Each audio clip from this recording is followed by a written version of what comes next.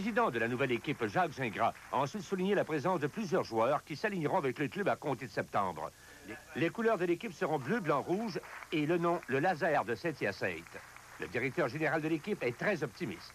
Saint-Hyacinthe, ça fait déjà 9-10 ans qu'ils attendent après ça. Et même, on vient de faire l'annonce qu'on des, des, billets de saison ici tantôt. Et même sans annonce, on a déjà au-dessus de près de 400 billets de saison de vendus présentement. Alors, euh, je pense que la réponse va être très bonne. C'est un jeune instructeur-chef qui a fait sa marque avec le Midget 3 à Montréal-Bourassa qui a été nommé pour piloter la nouvelle franchise de la Ligue junior majeure du Québec. C'est un nouveau défi, autant pour Normand Flynn que pour la ville de Saint-Hyacinthe, je pense que c'est un gros, un gros défi qu'on relève aujourd'hui. Le 6 juillet 89 demeure une date historique pour euh, les amateurs de sport de Saint-Hyacinthe et de la région qui, après plusieurs années d'attente, voient enfin le rêve réalisé, une équipe au sein de la Ligue de hockey junior majeure du Québec. Robert Rivet à Saint-Hyacinthe.